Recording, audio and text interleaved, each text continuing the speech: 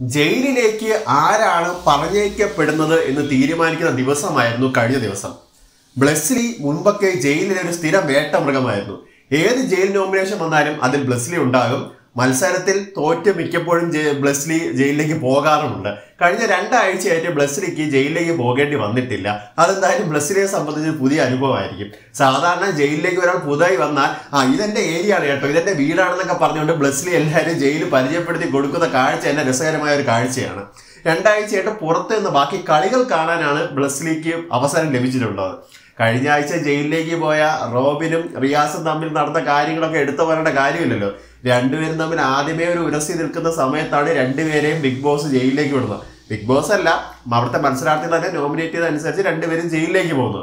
രണ്ടുപേരും ജയിലിൽ പോയി അവിടെ ബിഗ് ബോസ് കൊടുത്ത ടാസ്ക് ചെയ്യാതെ അടികൂടി ഇറങ്ങി വന്ന് ഇതിടെ റിയാസ് ക്യാപ്റ്റന്റെ വാക്കുപോലെ ധിക്കരിച്ച് പുറത്ത് നിന്ന് ഫ്രൂട്ട്സ് കഴിച്ച് കളിച്ച് ചിരിച്ച് നടക്കുന്നതൊക്കെ കണ്ടു. ഇതിനെല്ലാം കൂടി ചേർത്ത് ലാലേട്ടൻ വീക്കെൻഡിൽ വന്നപ്പോൾ രണ്ടുപേരെ നിർത്തി പൊരിച്ചു. ക്യാപ്റ്റൻ ജാസ്മിനും കിട്ടി കണക്കിന്.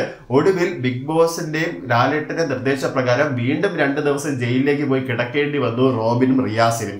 അങ്ങനെ ജയിലിൽ കിടന്ന് ബിഗ് ബോസ് പറഞ്ഞ ടാസ്ക് പൂർത്തീകരിച്ചാണ് ഇരുവരും പുറത്തിറങ്ങിയത്. അതുകൊണ്ട് തന്നെ ജയിലിലേക്ക് പറഞ്ഞയക്കാൻ വേണ്ടിയിട്ട് അടുത്ത നോമിനേഷൻ വരുമ്പോഴും അതിന്റെ ടാസ്ക് കളിക്കുമ്പോഴൊക്കെ തന്നെ ഇപ്പോഴുള്ള മത്സരാർത്ഥികൾക്ക് ഇത്തിരി ആവേശം കൂടുതലായിരുന്നു. കാരണം ഒരു ധിക്കരിക്കുന്ന ഒരു മനോഭാവത്തെ കളിച്ച് ഇനി പണി വാങ്ങിച്ച് കൂട്ടണ്ട എന്നൊരു തീരുമാനമായിരിക്കാം. എന്തായാലും മൂന്ന് പേരാണ് കഴിഞ്ഞ ദിവസം ഷോർട്ട് ലിസ്റ്റ് ചെയ്യപ്പെട്ടത് വോട്ടടിസ്ഥാനത്തിൽ അപർണ അതുപോലെ തന്നെ സുചിത്ര ധന്യ പിന്നെ അതുപോലെ ഈക്വൽ വോട്ട് നേടി അപർണയും വിനയും ഉണ്ടായിരുന്നു. അതിൽ വിനയെ മാറ്റി ഏറ്റവും കൂടുതൽ ഭൂരിപക്ഷത്തിന്റെ അടിസ്ഥാനത്തിൽ അപർണ നോമിനേഷൻ വരെയും വിനയെ രക്ഷപ്പെടുകയും ചെയ്തു. ഈ മൂന്ന് പേരുമാണ് ജയിലിലേക്ക് പോകാൻ വേണ്ടിയിട്ടുള്ള ടാസ്കിൽ പോയത്. ടാസ്ക് ഒരു അല്പം എന്താ എന്താണ് മെന്റൽ ഗെയിമായിരുന്നു എന്ന് പറയാം. ഫിസിക്കലി അതിന് ഈക്വൽ ഇമ്പോർട്ടൻസ് ഉള്ള ഒരു ഗെയിം തന്നെയായിരുന്നു.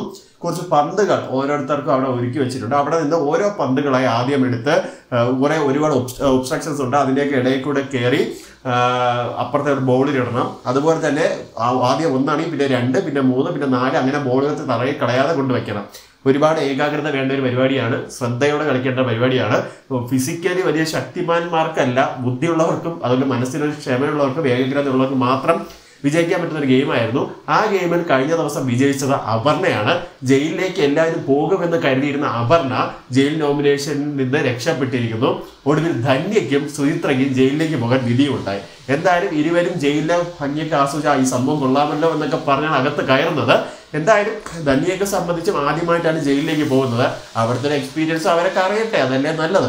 എന്തായാലും ഈ ആഴ്ചത്തെ എവിക്ഷനിലുള്ള പേരുകളാണ് ധന്യയുടെ ആണെങ്കിലും അപർണയുടെ ആണെങ്കിലും ഇതിൽ ജയിൽ നോമിനേഷനിലെ മികച്ച പ്രകടനം എവിക്ഷനിൽ അപർണയെ തുണയ്ക്കുമോ എന്നുള്ളതും കാത്തിരുന്ന് കാണേണ്ട കാര്യങ്ങളാണ്.